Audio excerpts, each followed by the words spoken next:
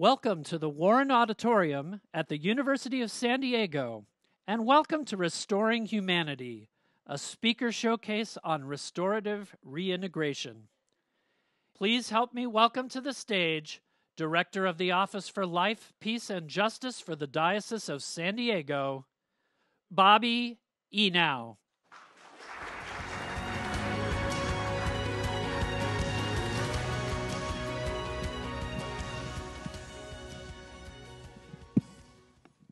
Welcome. My name is Bobby Eno, and I'm the Director for the Office for Life, Peace, and Justice at the Diocese of San Diego. And along with Amplify Voices and the University of San Diego's Center for Restorative Justice, we're sponsoring this event this afternoon. Welcome also to the many folks here that are live streaming in to see this event. Today, you're going to hear the courageous stories from six individuals that have been formerly incarcerated or impacted by the criminal justice system. We welcome you all and we ask that as we go into this wonderful experience, that you keep your hearts open and your minds open as you hear these incredible stories, the incredible life stories. We're very blessed today that we have our auxiliary bishop for the Diocese of San Diego, Bishop Ramon Bejarano, that's going to provide us with an opening prayer and blessing. Bishop Ramon was consecrated a bishop in 2020 here in the Diocese of San Diego. And before that, he was ordained a priest in 1998 where he was a pastor and had other priestly assignments in the Diocese of Stockton in Central California. So I'd like to welcome Bishop Ramon.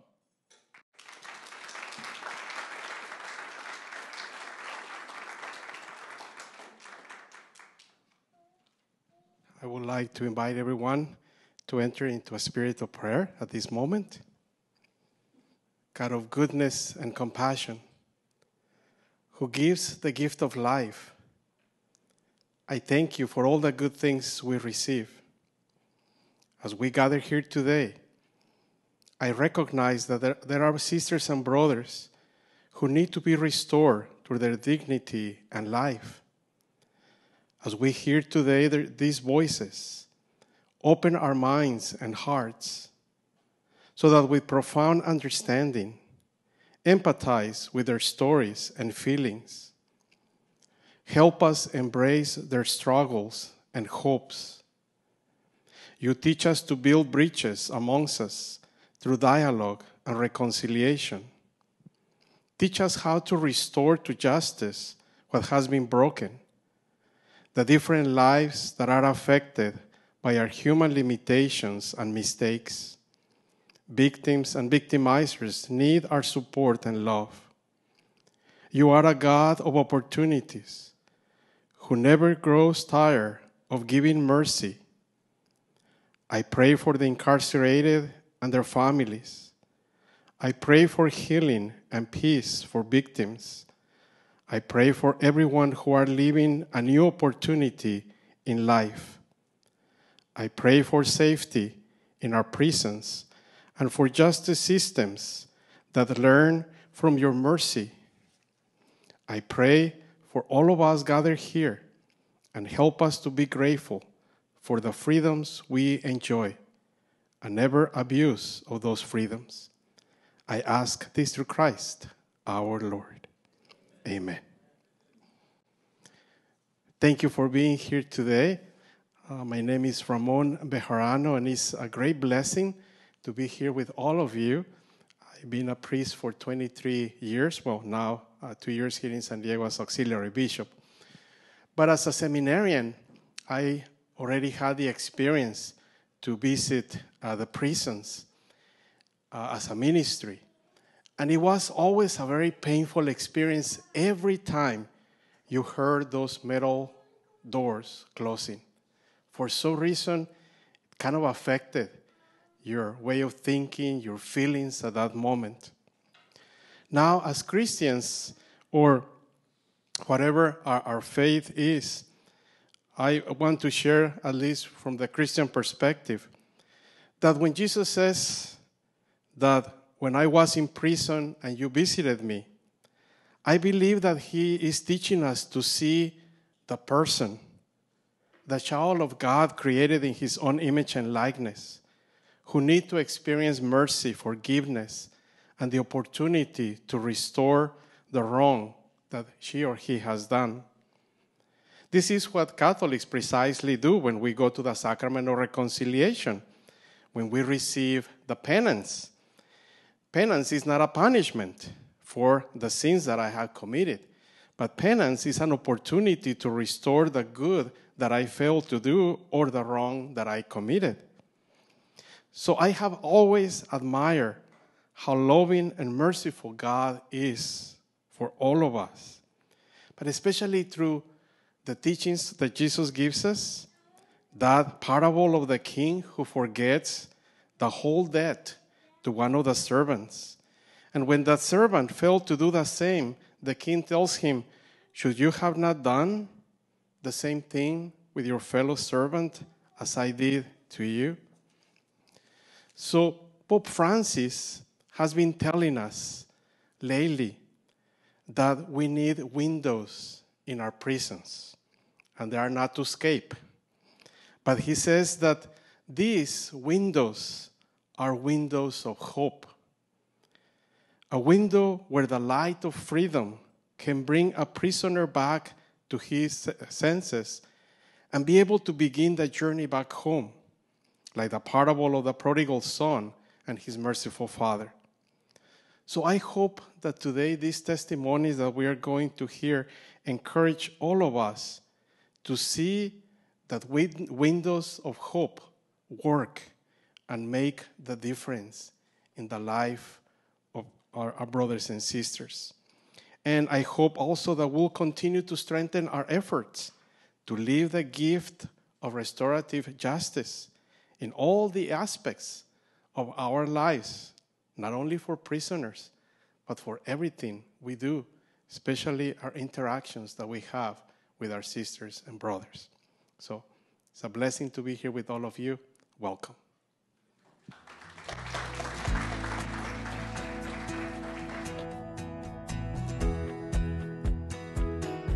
Please help me welcome to the stage the director of the Center for Restorative Justice at the University of San Diego, David Karp.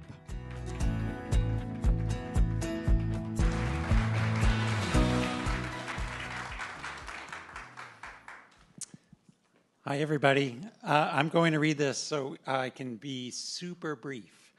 Um, on behalf of the Center for Restorative Justice here at the University of San Diego, I'd like to welcome you to today's event, Restoring Human- uh, Humanity. If you're here in the auditorium, uh, you know just how beautiful our campus is. Uh, but I'd like to remind us that this uh, really majestic place is colonized property and actually Kumeyaay land. In restorative justice, we often talk about the first harm of our country, which is that this land was taken without consent. Yet here we stand in the most tribally diverse region of our country, Kumeyaay and many other tribes. I'd like us to remember this first harm and appreciate its full implications. We gather in this place today at a particularly fractured time. Here in California, we are in a severe drought, and just 15 miles from the Mexican border, constantly reminded about how this country decides who belongs and who does not. We're reeling from multiple mass shootings, still in a global pandemic, horrified by the war in Ukraine, and trapped in a downward spiral of corrosive political polarization. In response to all of these crises, what we offer today is restorative justice which fully embraces a fundamental teaching of the indigenous peoples of America that we must find harmony in all of our relations with the people around us and with our environment. That's the overarching theme of today. I'm grateful that we have a group of distinguished speakers to share with us their wisdom about how we can restore our humanity. Thank you.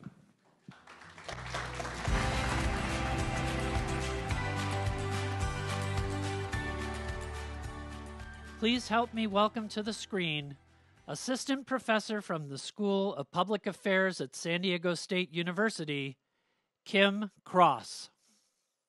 When people think about justice in response to crime, they often think prison is it. If you send someone to prison for committing a crime, you've solved the problem. The problem of the offense, satisfying the victims and community's need for justice.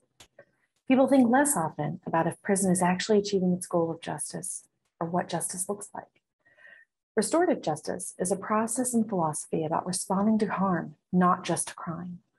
When you think about responding to the harm caused, you include the possibility of promoting healing to the victim, rebuilding trust amongst a community that feels violated by the harm, but you're also offering healing to the person who committed the harm through accountability and empowerment to change their lives. In this way, restorative justice holds the power to restore humanity to those who've harmed, been harmed, and to the community.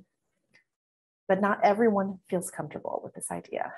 Why should we care about restoring the person who's engaged in crime? Doesn't that let people off easy? Doesn't it show the victim and community that we don't care about them as much as we care about the people who engaged in crime? I used to ask these questions when I began my career as a parole officer. Since my job was to monitor people after they returned home from prison and refer them to services they might need, I wasn't supposed to be in the business of worrying about whether people felt like humans.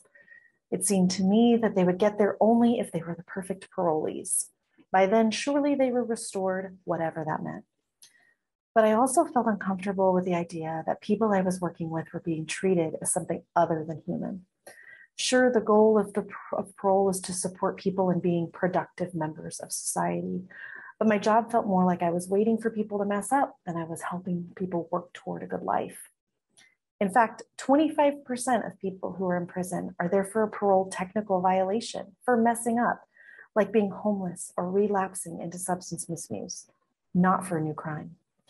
The idea of messing up ignored the messiness of people's lives and gave little thought to the worlds they lived in, their experiences in prison, or their lives before they became involved in the justice system. Still, when it came to restorative justice as a possible solution, I was a non believer. I just can't see how focusing on restoring people's lives would help victims receive justice, people on parole be deterred from committing more crime. Even when I transitioned from being a parole officer to studying for my doctorate in criminology, I was skeptical that focusing on restorative justice would achieve what I thought was supposed to be the primary goal of the justice system, which was to not have people reoffend.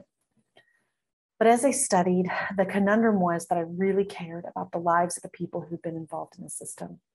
After seeing so many people while in jail and at very low points in their lives, then back in front of a judge hoping for another chance, it was clear that the current system wasn't adequate to help that chance be successful. I believe there was something that could be discovered to help people move away from a life of crime. I've built a body of research focused on the lives of men and women returning from prison, especially the barriers, collateral consequences, and stigma they face. In one study I conducted following men and women for three years after being released from prison, I found that despite attaining stable housing, employment, and completing parole, their lives were still in turmoil with unresolved trauma, lack of mental health care, and financial instability. Many still hadn't reunited with family or rebuilt relationships with people in their communities because the stigma and trauma of incarceration. It was through this work that I began to see something different about how we understood human nature and our current system's responses to it. I became increasingly dissatisfied with the current ways of thinking help people find housing, refer to them to treatment, make them hireable, and oh, yeah, they should have some social support. But none of these very real needs of people returning home recognize the need for dignity, acknowledgement, and personal agency. Providing people help is essential, but it wasn't enough without showing care, love, and empathy, even from parole officers. The real transformation toward restorative justice for me has come in the last few years. I've had the immense privilege of serving as a volunteer for San Diego's Circles of Support and Accountability, or COSA. COSA is a community based support group comprised of volunteers who meet with a core member, someone who's returned from prison, typically after a long period of incarceration, for a violent or sexual offense and doesn't have family or friends to return to. COSA is one of the longest running restorative justice programs with research evidence to show that it not only reduces recidivism, but also improves the lives of those involved, including victims. The volunteers surround the core member with support in ways that mirror what it's like to have a tight knit family or group of friends.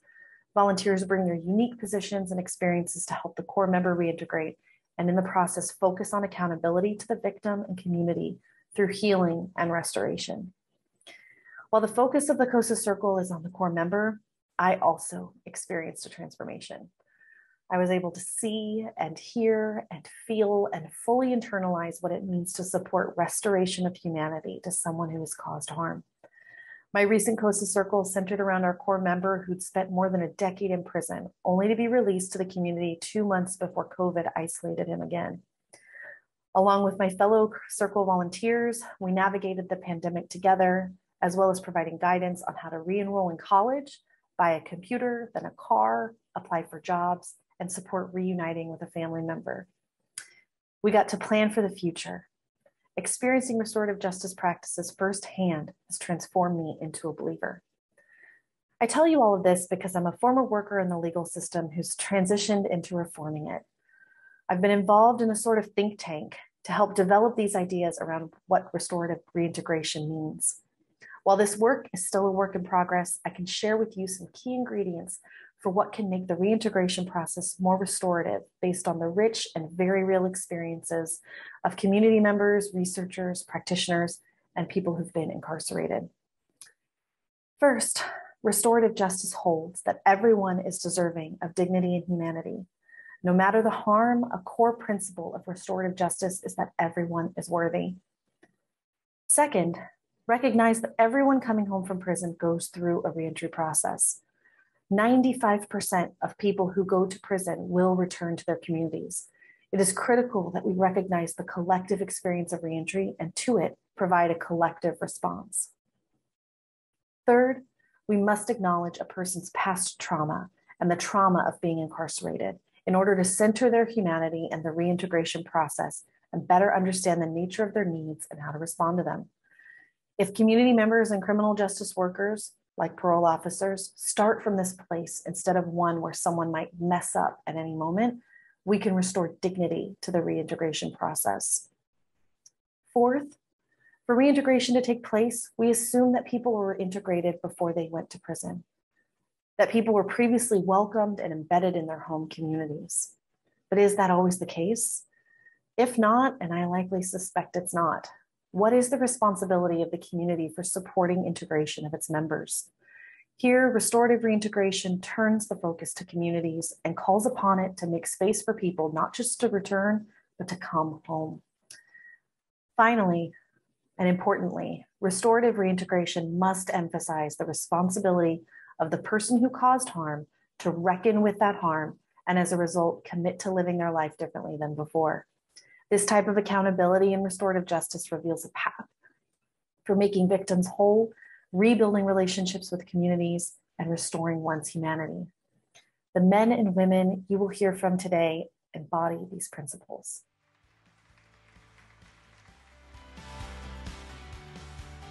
Please help me welcome to the stage Elta Tomei Douglas Varlack Butler.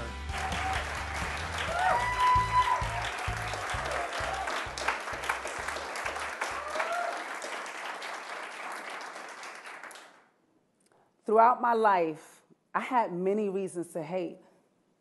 I was only eight years old when I met my first offender. This was a person tasked with caring for me, my babysitter. I struggled with guilt from remaining silent, and I almost suffocated growing up past the walls of hate. Hate for the person who harmed me for years, and hate for myself for feeling like I was forever damaged. I worked hard not to hate, to remain positive. But as soon as I saw a place for myself in the world, hope quickly faded. Because in the eighth grade, I met three more offenders who attempted to rape me. I was coming home from school, waiting in the lobby of my building when they forcibly dragged me 13 flights to the roof. This experience left me feeling hopeless, worthless, and undeserving of love. Naturally, I began to hate those who caused me harm. In fact, I hated all offenders. I didn't believe they could change. However, the hate was changing me. I was depressed, filled with rage.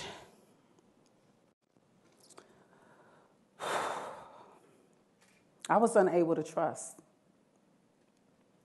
I was constantly battling with hate. So I get it. I get why it's so difficult to forgive and just justify wanting to lock them up and throw away the key. So imagine how I felt when I received the call that my brother was arrested and incarcerated five hours away. This label of offender had now been placed on him. And if that wasn't enough, after driving five hours, when I finally arrived to the correction facility, I was met with disdain, coldness by each person, I, by the first person I saw, and then each person after that. There was no compassion from the correctional officers. It was just this harshness of being vilified because of my association to someone whom society has labeled offender. Once again, I had to fight back the feelings of hate that I worked so hard to heal. The dehumanization that I experienced and encountered every time I went to a visit, it tore at my dignity. I felt ostracized. And I was suppressing anger from remembering my brother with chains on his hands. All I felt was pain I suffered in silence, watching my mother shrink back due to the stigma and the shame of having a family member in prison.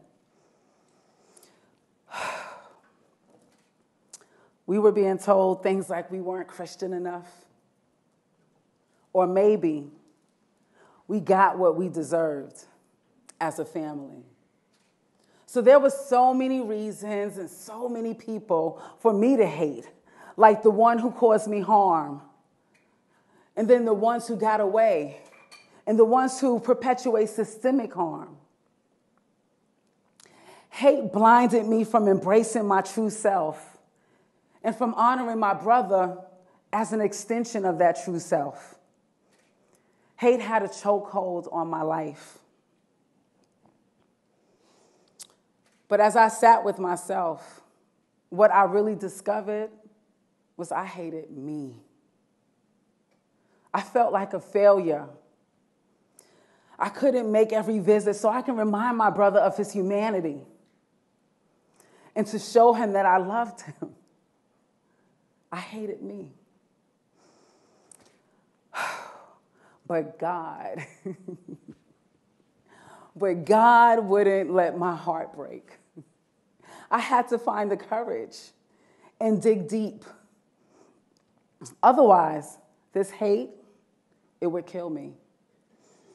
So I released myself from the burden of hate and I chose love. Oh, but not just any love. I'm talking about a restorative love.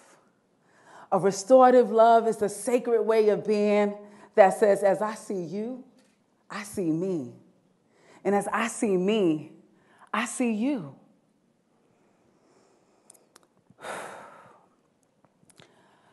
I decided to choose a more excellent way and to see how our perceptions can be healed of how we view one another. So I really embraced this concept of restorative love. How did I do this? I faced myself, I sat with myself, and I chose to love all of me as I see it, restorative love is a commitment to doing the inner work on ourselves and honoring the power of our voice. Even the voices and the things that try to make us feel shame, that causes us not to see our own humanity. Restorative love breaks the cycle of harm towards self, towards vulnerable persons, families, and communities. But when I chose restorative love, I found out how easy it was for society to hate and turn a blind eye. We can't make a mistake in society. Love has limits, that has conditions that, if are left unmet, will get you canceled. Have we become a society that throws people away? Research shows that 40 million American adults grew up with domestic violence.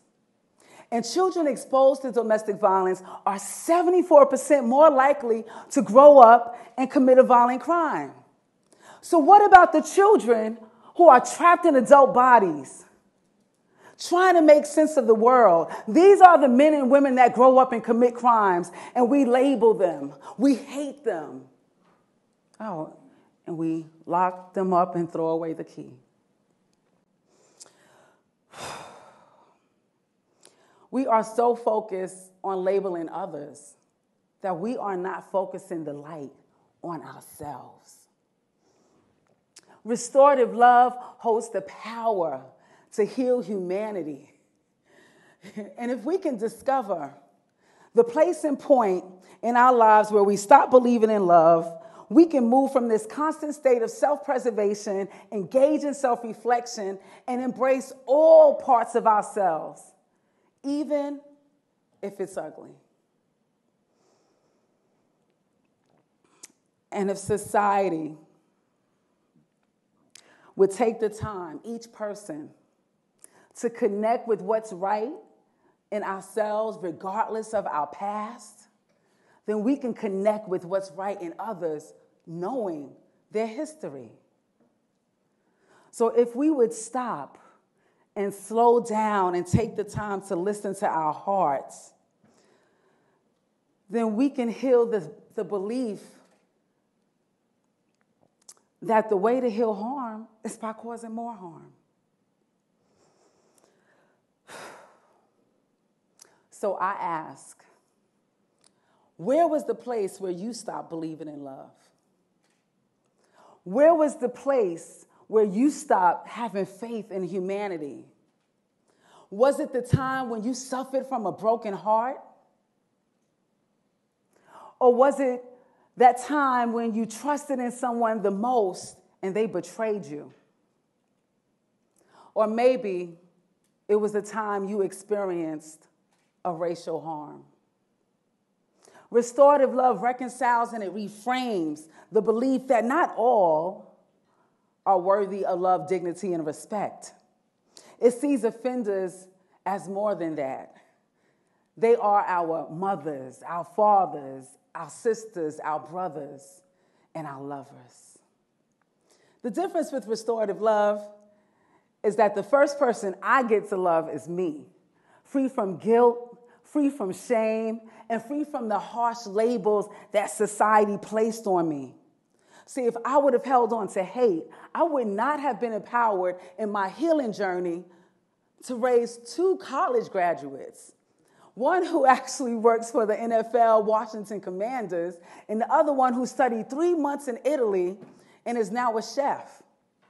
See, if I would have held on to hate, I would not have been able to believe in myself and go back to school and get a bachelor's in psychology, a master's in social work, and now on a path to earning my PhD.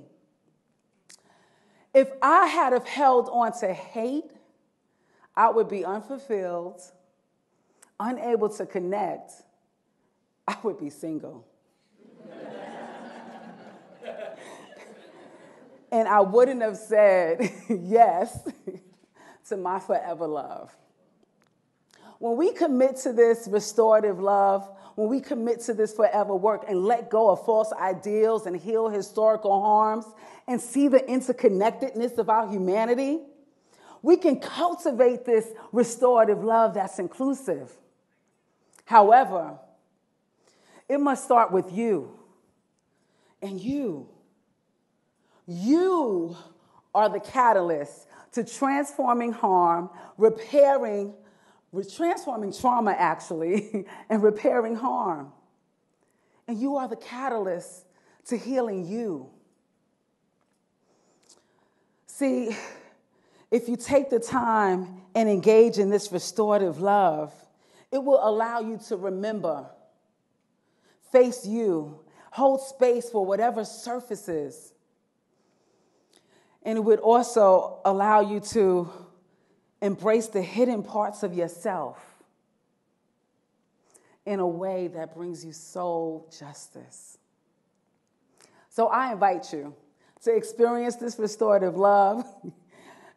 you got to return to the scene.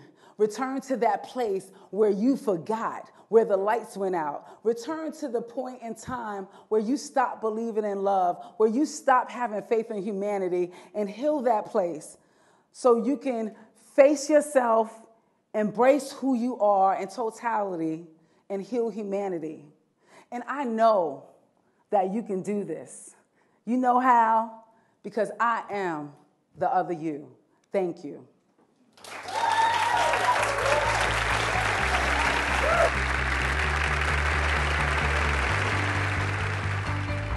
Please help me welcome to the stage DeAndre Brooks.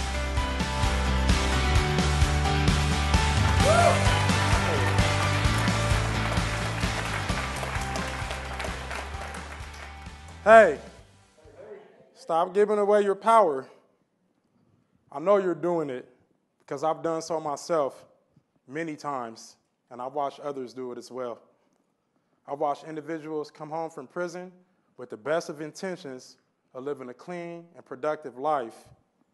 And as soon as they face barriers, like not being able to get a job, being labeled a felon, not being able to get housing, and possibly becoming homeless, they go back right they go right back to the same things that caused them to go to prison in the first place. It's a vicious cycle, and the boomerang is definitely real. Don't get me wrong, I understand and respect the struggle personally. Bills need to be paid, children need to be cared for, and being viewed and treated as less than, well, that does a number on your psyche. I know. When I first came home, I experienced being denied jobs and opportunities all because of my background.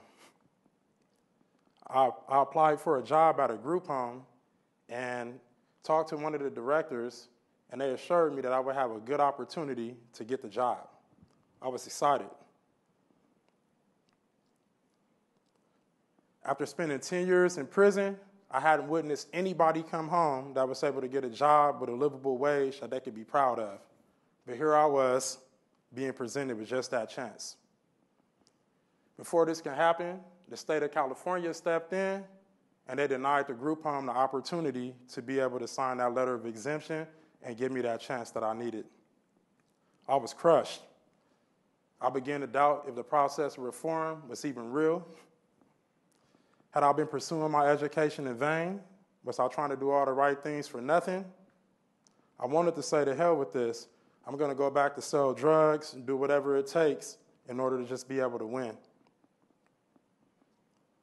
But this time, I chose something completely different. I chose to take a pause when this opportunity came to me.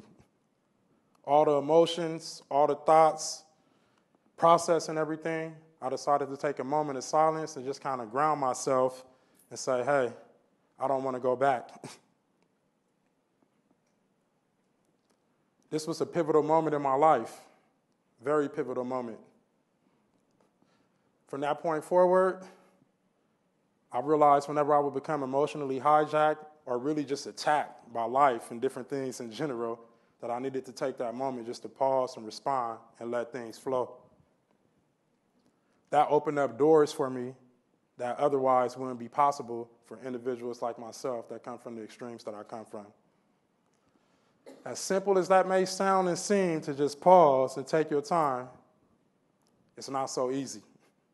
Not so much so even after building that muscle in your mind, it was just saying, let me take a pause and let me take a moment to think. You still just get hit with attacks and different situations that you have to continue to process and work your way through. When that happens, people easily land back in prison because you're reacting to a situation instead of responding to it and taking that time. Even as recently as a couple of months ago, I was faced with a situation and I failed. I failed miserably. failed miserably. I was at a conservative restaurant here in San Diego on the bayfront. I had ordered some food and I was dealing with a waiter. I tasted the food and he seen my facial expression and was like, Is everything okay? And I was like, Nah. and he was like, Would you like us to go back and recook the food and, you know, see if we could get that right for you? I said, No problem. Upon returning with the second plate, he began to talk to me in a slick tone. and was like, Would you like to take the silverware and the knives with you too? So I sat there, and instead of pausing, and there, and there were many ways I could have dealt with that situation, I decided to react and I matched that energy. I told him, Who the hell do you think you're playing with? And I'm not your slave. the waiter then reacted by pulling a Karen and calling the police. Sad to say, I spent that night in jail over something that could have been avoided had I just took my time and not engaged that energy. Although all ended up working itself out, I still put my future in jeopardy. When we react to situations, instead of responding, we defer the power of our choice to whoever it was that came through with that with those that, that attacks you, I should say.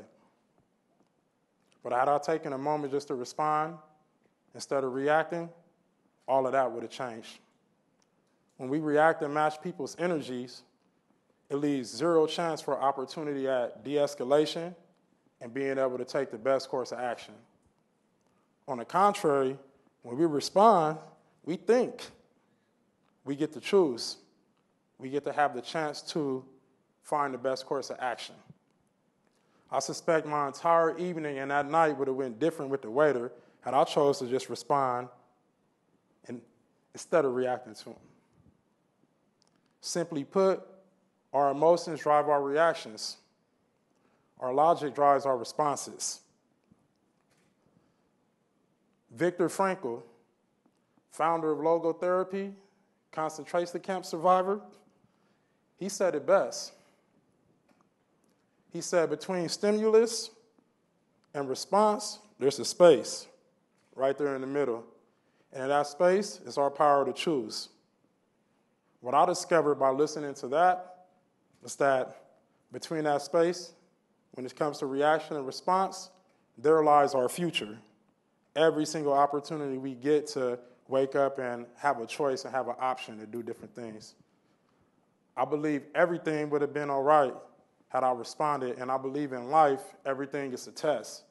We're always going to have that chance to be able to respond to the ways that people treat us, to respond to the situations that we are in. Because keep in mind, if you fight fire with fire, you're going to get more fire. And everything is going to continue just to be fire. That's not what we want.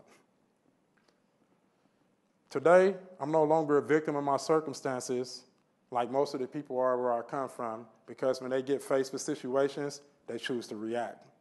And nine times out of 10, those reactions are what land individuals back in prison. And then the cycle continues again because, like I said earlier, the boomerang is real.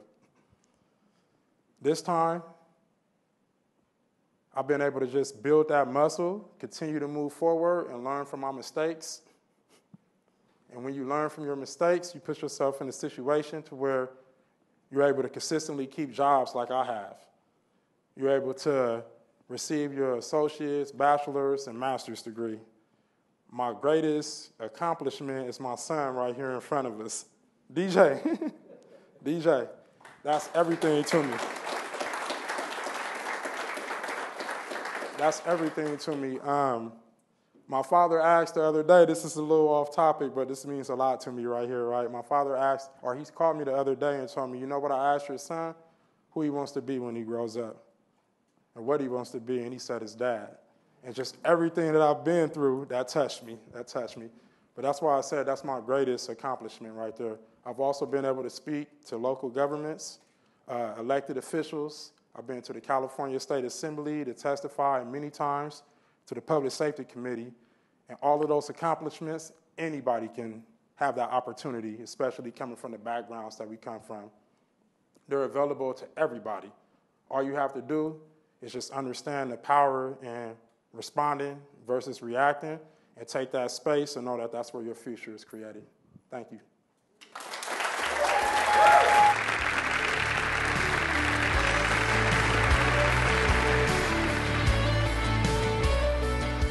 Please help me welcome to the stage Jason Samuel.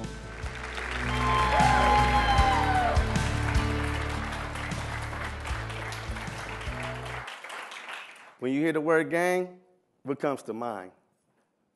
When you hear the word gang, you must have think of Crips, Bloods, Northerners, Southerners. But have you ever questioned the police as a gang? Webster Dictionary defined the word gang as a number of people joined together in order to intimidate someone.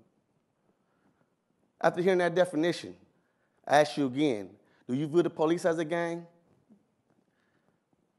I think most people see police as being supportive and come to their rescue when you call them. While in grade school, police would come to assemblies and classes saying just say no to drugs, and when you call them, when you see crime. These sound like supportive things to me. But my reality was different. As a child, I only saw the police arrest people. At the age of 10, I was forcibly taken from the police when I was being removed from my mother's custody. At 13, I was at a party when the police raided with a dog and a little girl was injured. At the age of 14, I was taken into custody for shooting and I wasn't even there. To me, I didn't feel like I was being supported. And the statistics didn't help my views either. By one estimate, black men are two times more likely in their lifetime to be killed by the police. In another study, since 2015, police have fatally shot and killed 135 unarmed black men and women nationwide. And at least 75% of the police was white. I had enough evidence. To me, the police were very much a gang, a rival gang. We was two enemies trying to intimidate one another. When you're in a rival gang, it's kill to be killed. One day, I was sleeping in the passenger side my white Ford Pinto. With my gun in my pocket, for safekeeping in a neighborhood where there's only gangs and violence. I was awakened by a knock on the window. Two officers asking me to step out the car. In my mind, I knew I was going to die. This was the feeling I had that night. As I stepped out the car to get searched, the officer patted my pocket down and he yelled, Gun! I ran, jumped the fence. The officer close behind chased me, backed me into the corner, fear for my life. I shot him. At first, I was proud. I thought done something good. We were rival gangs. Wasn't that what we were supposed to do? The homie said, should kill to be killed. We should kill the police. But when I did, I wasn't honored nor praised. Instead, he distanced himself from me. Asked me why. Why'd you do it? I was arrested at, on April 13, 1997, and charged with shooting Officer Tom Morgan. The officer lived, and I went to prison at 17 years old, faced with a life sentence. The truth of what I had done there settled in. I was confused. My whole belief system destroyed. I had a life sentence in front of me, and I was devastated. I didn't want to die in prison. And ultimately, not to die there, I had to become a better person. I had to figure out a way to learn compassion and understanding all these emotions I didn't have for people. So I went to groups in prison. I saw I had to deal with my own issues, my mother issues, my daddy issues. And to be willing to forgive those that I felt done me wrong in the past. And once I got through that, it was easy for me. Including, it was easy for me to start forgiving, including Tom, the rival gang member, the police. Forgiveness became a process of taking the weight off. It released all my pressures I have been feeling my whole life the shame, the guilt, the feeling of betrayal. But once I started forgiving myself, I started loving me. When I started loving me, I discovered I didn't need anyone else, else to love me. Loving me was enough. It's very hard when, you when you're doing something wrong. It takes a certain amount of pride. And most people don't do that. Hey, I grew up not admitting when I was wrong. I thought it was shameful. But now I'm a man. And I wanted to admit when I was wrong. I wanted to apologize to Tom, whether he forgave me or not, because this forgiveness was for me. And in this apology, a credible thing happened. When I admitted I was wrong, Tom admitted it too. I didn't know him and he didn't know me. But as soon as he heard my backstory and I heard his, we had compassion for one another. He saw value in me instead of someone to try to take his life. We saw one another as humans. I respected him and he respected me. I now have the support of both he and his wife, Christy. We formed a strong bond and we share life experiences. We even speak together at groups of students and parents and professionals so our story can make a difference in others' lives. I had to understand that Tom was a man. He had a family like me. He had a mom, he had a dad. Without the clothes, without the badge, he was just a person. I had to see that first. It was said that violence is one of the most cohesive building components of gangs. I want us to drop our guns and use a more powerful weapon of change communication and forgiveness. Let's get to know one another as humans. What would it look like if the police actually got to know the community and the people in it? Once you know a person who they is, it ain't easy to pull a trigger or send them to jail, prison, if you know, especially if you know this person values and the morals that they hold.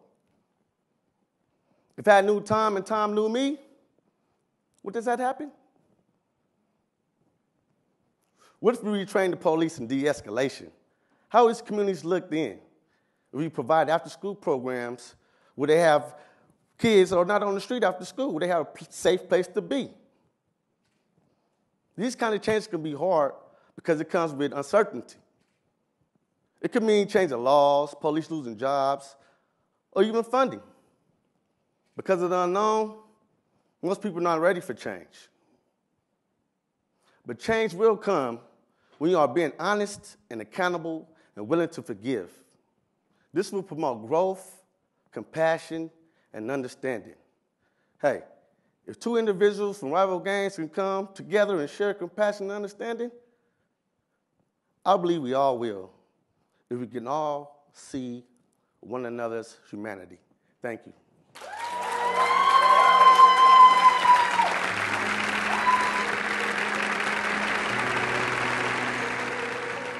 Please help me welcome to the screen Rena Alspaugh. Desmond Tutu, anti apartheid and human rights activist, was quoted as saying, Hope is being able to see that there is light despite all of the darkness. I recall a time when I questioned whether that light really existed. Have you ever been there? I grew up in an abusive home where I learned that the only acceptable emotion was anger and that violence was an appropriate response to it. Between the ages of 6 and 14, I was anonymously referred to Child Protective Services nine times. They wouldn't intervene until I was 14. And then I was placed in a foster home that pretty much mirrored my childhood with alcoholism, anger, and violence. I wanted something different, but without any examples in my life, I didn't know how to do anything different. So I repeated the same things I witnessed and experienced in my childhood, and I responded to the world with violence. By the time I was 16, I was living on my own. For the most part, I led a rather isolated life. This left me vulnerable for abuse and recreating the environment I grew up in. This is how I came to engage in an abusive relationship with Sean, who was 21 years old. Without the necessary life experience or tools to escape this relationship or get help, I responded with violence, taking Sean's life. I am what the justice system refers to as a juvenile lifer. Committing this horrible crime at the age of 16, I was charged as an adult and sentenced to 30 years to life in prison. Every day that I was there, someone, whether an inmate, an officer, or other staff member, would tell me that I was never getting out and that I would die in prison. I couldn't believe that. And I lived convinced that one day I would be free. I never imagined it would be 21 years before I walked out of there. Can you guess the first question people ask me about being incarcerated? They ask, How did you get through 21 years in prison? The answer is really quite simple hope.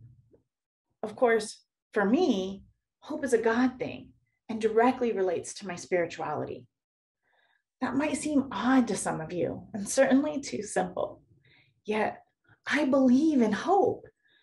Hope changed me and allowed me to understand that I was not a magnet for bad things in life or bad luck, and that I had the power to choose how I responded to the world around me. I'm not talking about hope and the way we see hope in society today. You see, people have become desensitized to the power of words like hope. People hope to win the lottery. They hope for good weather on the weekends. They definitely hope for good traffic on the way home. Small, inconsequential things that definitely impact our daily lives. However, this is not real hope. I am talking about a profound, powerful, mountain moving hope. This is what I believe in. What has taken place in society is that we've spent much of our life hoping for these little mundane things, things that certainly bring a little joy and comfort, that we become afraid to hope for the big things in life, the real things. We are suddenly afraid to use hope or rely on hope for the serious things, like cancer, life sentences, the loss of a loved one. We convinced ourselves that we've already spent the hope that we have on traffic and good weather, as if there is a limit to God given hope. If people understood the true power of hope and what hope could bring to their lives, they would overcome fears. They would reduce stress and they could conquer those feelings of hopelessness and helplessness when the big things come their way. Believe me, those big things are coming. Whether you experience it directly or through a loved one, life brings difficulty. Jesus said it only takes a mustard seed size faith to move into that mountain moving hope. It is not just a word, but action a belief, a lifestyle, even. Every day throughout my incarceration, I was told to look around and get used to what I saw because it was the last thing I would ever see. But I refused to accept that dying in prison would be my reality. It was my hope that sustained me in more ways than I can express. Has anyone seen the movie The Shawshank Redemption? It's one of my favorite films, and not only because it tells the story of lifers. Particularly the scene where Andy and Red are talking on the yard, and Andy says to Red, Hope is a good thing, maybe even the best of things, and no good thing ever dies. Only in hindsight would I know and understand the life saving power of those words. By the way, prison really is as dark and horrible as depicted in that film, rife with abuse and violence, sprinkled with a few moments of joy. So, how did I maintain hope throughout those 21 years? My hope remained steadfast because of a seed that was planted by an angel the night of my arrest. Does anyone here believe in angels? After my arrest and admission, prior to housing me, the receiving staff said that I would have to speak to the officer of the day. I recall her leading me into this office where an older white man with gray hair was sitting across the desk.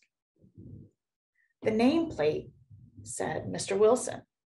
And in my mind, I could not help but imagining the old comic Dennis the Menace hollering, Mr. Wilson. For those of you who just went to Castaway with Tom Hanks, it wouldn't be released for another six years. Mr. Wilson looked at me with sad eyes and expressed regret that I was there at all. And then he proceeded to tell me how the following days would unfold and that I would not be released in the next couple of months or years. The most important thing he said to me was that no matter what anyone else said, for me to know that I would be released one day, that they could not keep me forever. About 18 months later, I was working and receiving for the same staff member who had admitted me. I found myself thinking about Mr. Wilson and how everything he had told me had transpired exactly the way he said it would. I asked the staff member about him, but she insisted she had no idea who I was talking about. I reminded her of the night I was admitted and even took her to the office where I met Mr. Wilson. She acknowledged that I would have had to see the officer of the day,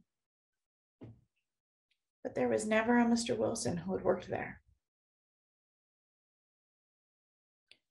Although I didn't know it at the time, how the hope planted by Mr. Wilson that day would transform my life, I understand today that hope is what fueled my perseverance, resilience, and tenacity, allowing the years that I spent in prison to change the way I responded to the world forever.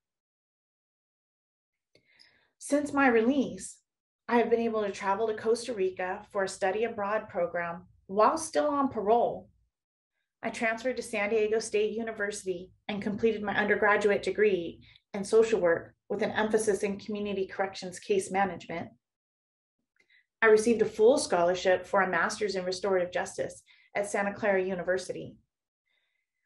I have become certified in victim offender dialogues and restorative practices and I have been able to return to the women's prisons in California as a guest speaker and a visitor. Hope can lead you to similar success.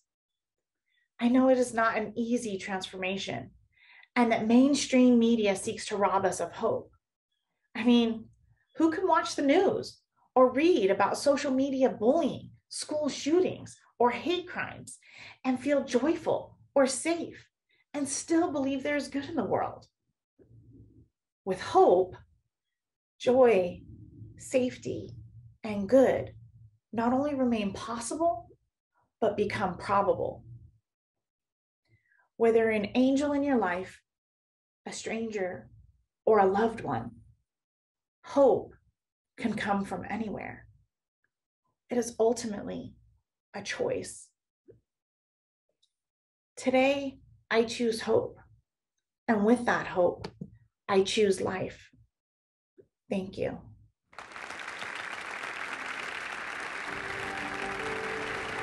Please help me welcome to the stage Richard Sandoval.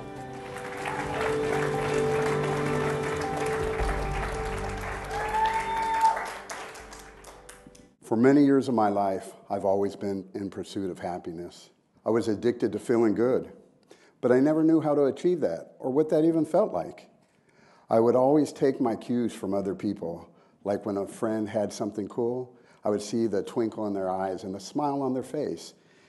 And I would always tell myself I had to have that. But it was as if I felt their excitement, but what I felt was adrenaline, and that adrenaline felt good. And every time, every time, single time, I told myself I had to have it. And I was always willing to do whatever it took to achieve that. It didn't matter if I had to do something illegal or if I had to steal it from a friend. But once I obtained it, it was no big deal. It'd be like a dirty shoe. I would just kick it aside and move on to something else. I also tried to find happiness within alcohol. I would drink as fast as I could and on an empty stomach when I was with my friends.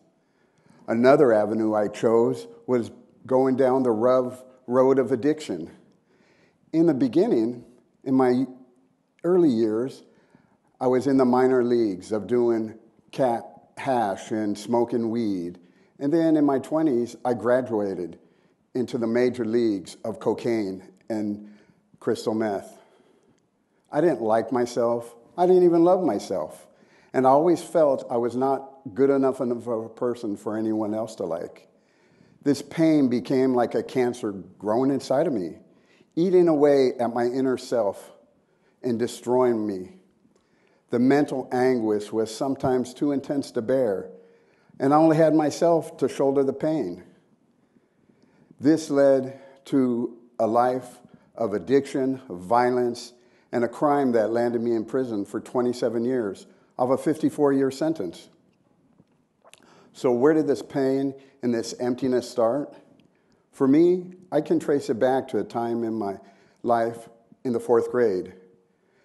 My teacher, Sister Mercedes. You see, I have a learning disability, and it made reading hard for me.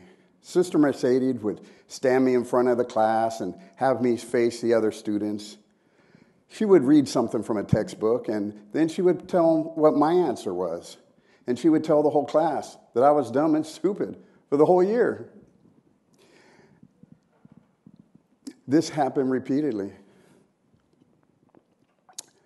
To some, Sister Mercedes was a saint, but to me, she became the devil of my nightmares. And I never asked a teacher for help again. And year after year, they would just keep passing me from one grade to another.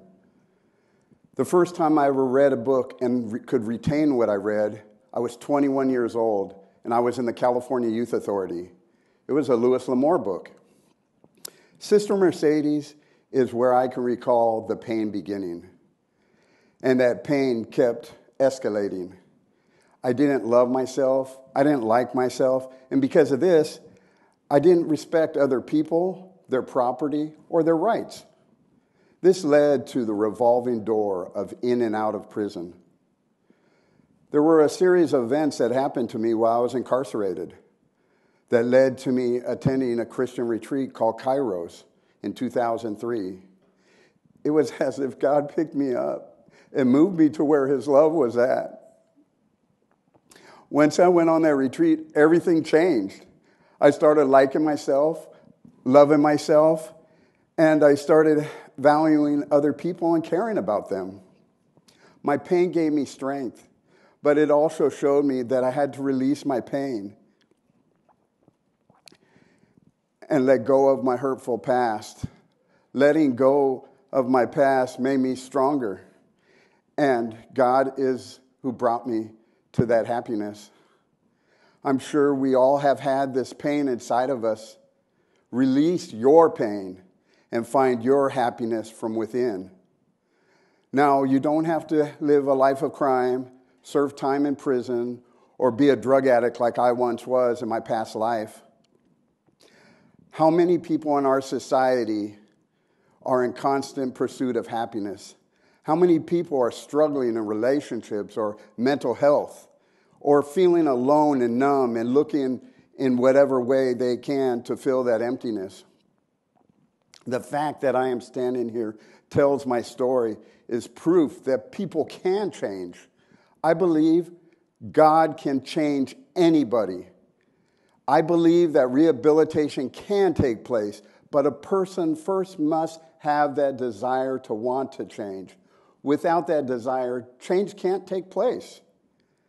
After I started to accept God into my life, I started to develop a new mindset. I started realizing that I didn't want to victimize anybody and hurt anyone anymore.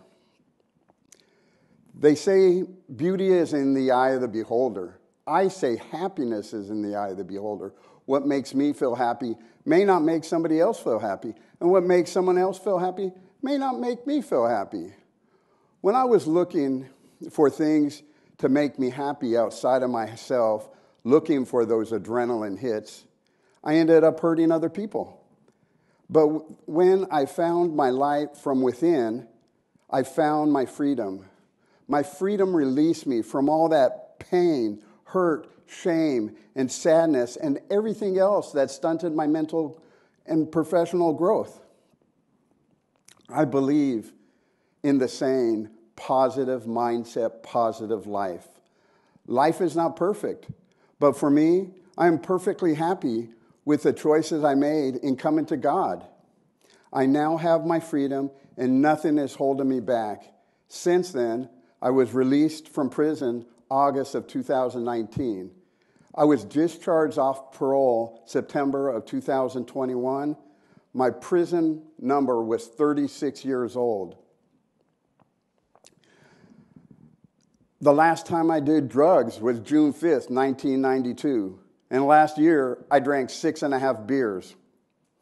I live an honest life.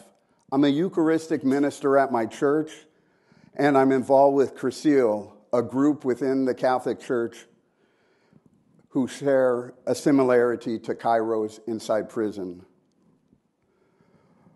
What's holding you back from finding your light and gaining your freedom? I remember being on my knees praying to God that one day I would be free and I could go to church with my parents. And He brought me that freedom. Just a couple weeks ago, I found myself accepting communion at my church with tears in my eye because I knew that today I am free and my prayers have come true. I am not just free from the walls of prison, but I am also free from the walls of my mind. God gave me my freedom.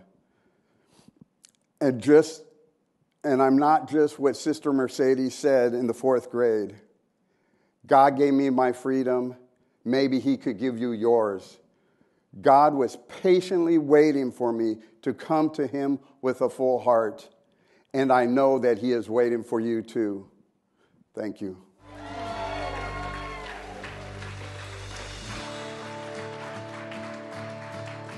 Please help me welcome to the stage our final speaker of the afternoon, Daryl Varlack Butler.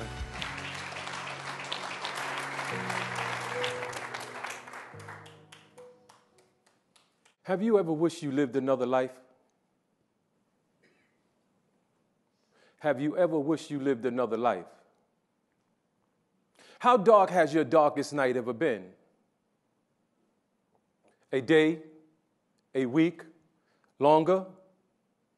Was it from a loss, the death of someone you loved? Was it from depression, mental illness? Was it from something you did or something that happened to you? Have you ever li- wished you lived another life? If you have, you're not alone because I have too. From slavery to mass incarceration, people of color have been convicted in the womb, placed in situations, circumstances where crime generative factors influence their behaviors. There are over 20 million people in prison in the United States today. They made the worst decisions of their lives in situations of despair hopelessness. And I am one of these human beings. My birth to an immigrant mother was premature. At four, I experienced my first harm. At seven, I saw my first death, not in a funeral home, but on the stairway of my building. I lived in the projects, and my friend came to get me to go outside and play. On our way downstairs, we found his brother dead with a needle in his arm. Something I never forgot. The same way I never forgot that we never played together again either.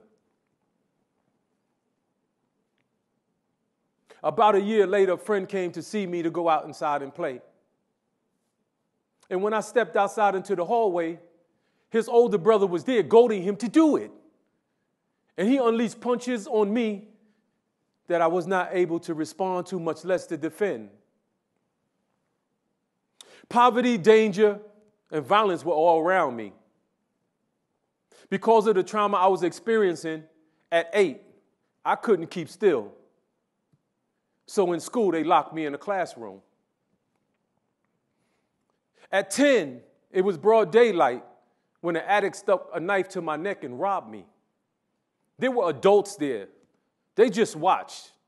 No one did anything. Poverty, danger, and violence were all around me. My exposure experiences of harm growing up was normal and natural. You see, being light skinned with hazel eyes from an urban environment, they called you soft. You was a pretty boy. You were targeted and suspect for violence.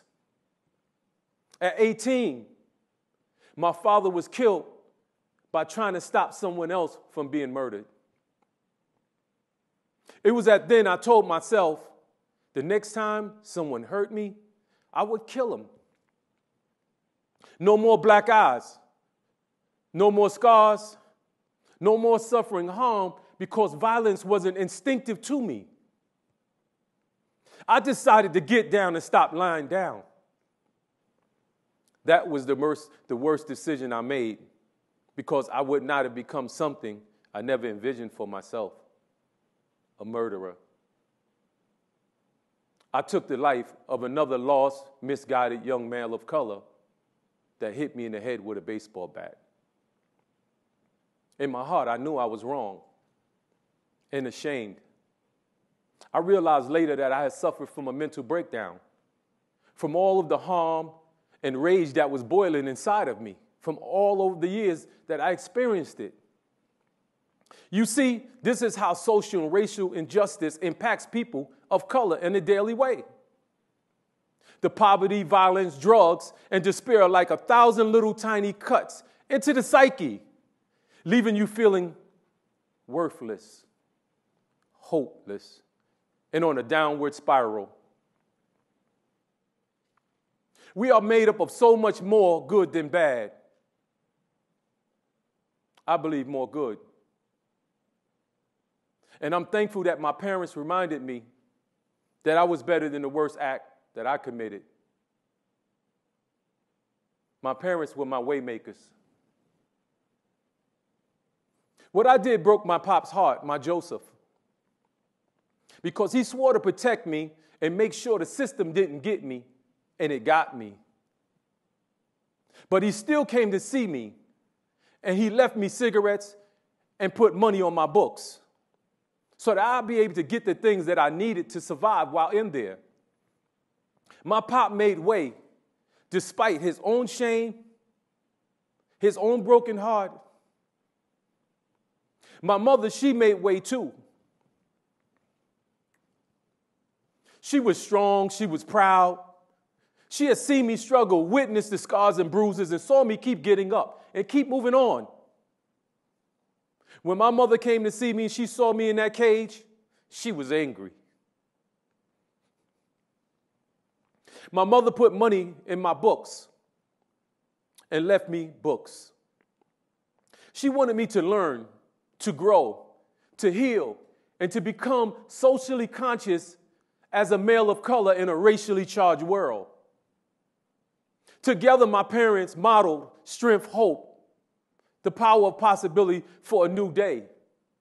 They gave me strength when I was weak. They gave me hope when I was hopeless. And they never let me forget that it wasn't over every time we spoke. My mother provided me with lifelong changing books and literature to expand my mind, my worldview, and ultimately find myself in it. One of the books she brought me was My Ray of Light. It had brothers and sisters on the cover and dashikis with afros. They were in the greenest grass I ever saw.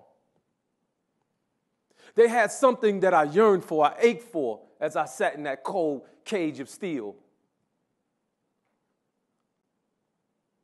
I picked it up and I read that book over and over and over from cover to cover. It was entitled Soul Food Food for Your Soul. It turned out to be the New Testament. It was then that I let Jesus take the wheel. This was my born again experience. With the tears pouring down my face from guilt and shame and confessing my sins, God gave me newfound wisdom that was both purging and purifying. A spirit, a new breath of life entered me, a connection to God, and His redeeming love changed everything. God saved me, God forgave me, and gave me new life as I had thirst for it. Jesus made way. Thankfully, there were other men who made way for me. First, I must acknowledge the men that also wore green inside these prisons right there with me. They educated me, they inspired me, and they helped me to grow from the boy that entered that prison into a man. There were prison administrators and staff who treated me like a human being and did not judge me for being there and stated that. There were counselors that told me about rehabilitative programs in different prisons, and they helped me get there. There was the Society of Friends, the Quakers. They befriended me, they wrote me, they visited me. When I was younger, my older sisters, they were brilliant. They went through school with a breeze. Me, I just barely graduated. But when in prison, I went back to school. I had a math teacher that I met named Darrell. I took his classes from remedial to pre calculus, and I received all A's.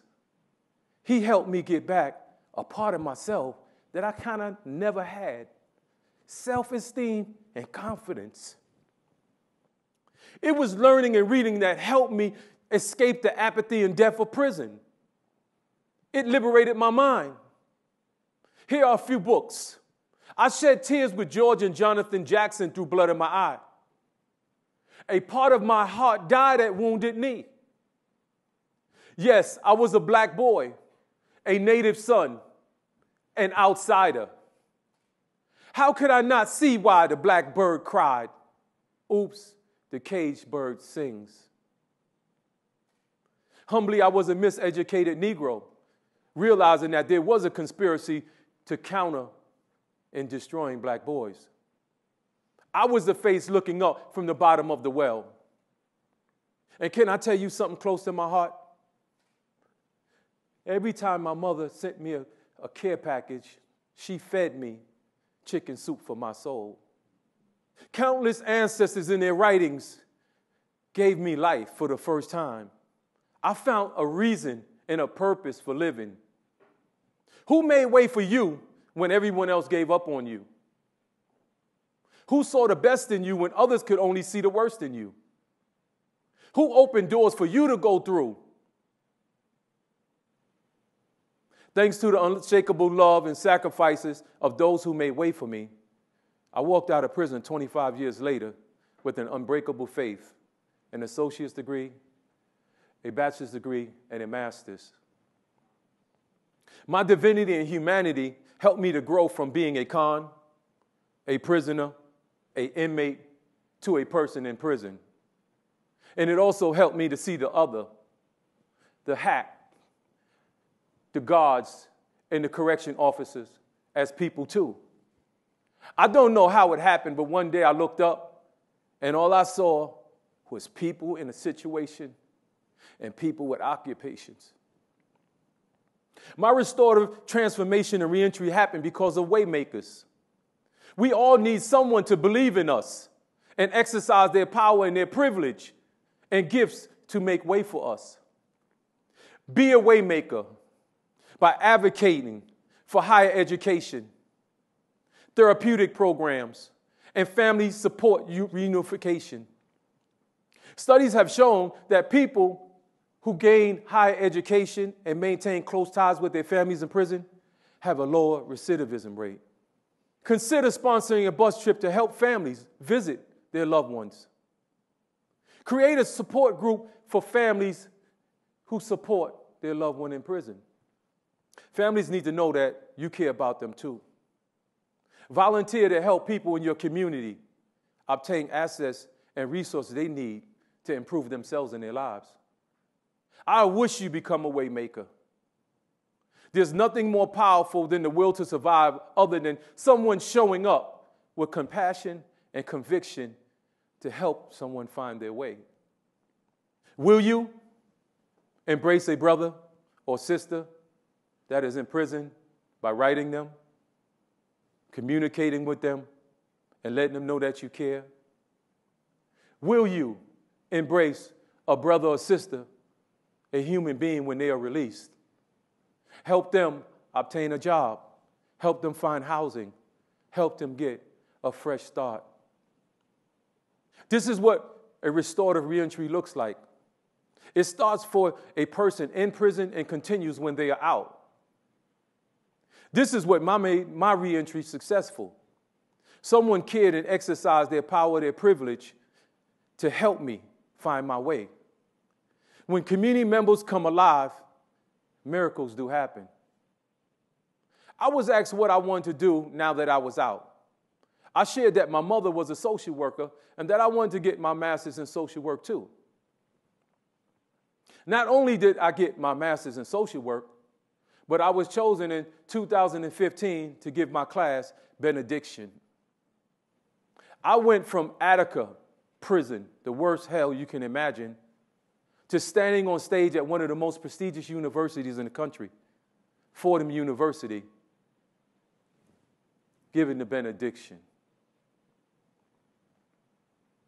I was able to accomplish this and other successes in my life because people made way. They saw me as human. Dr. Martin Luther King Jr. once said, When evil men plot, good men must plan. When evil men bomb and burn, good men must build and bind. When evil men shout ugly words of hatred, good men must commit themselves to the glories of love. Where evil would seek to perpetuate an unjust status quo, good men must bring into being a real order of justice. This is your challenge to being a good human being.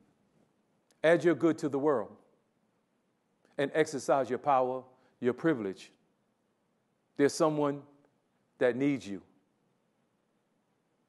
Please be a waymaker.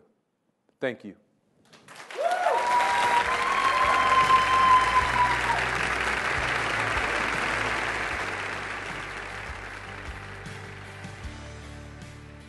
So I was in prison for 31 months in a federal prison, relatively short period of time uh, compared to our heroes that you just heard from.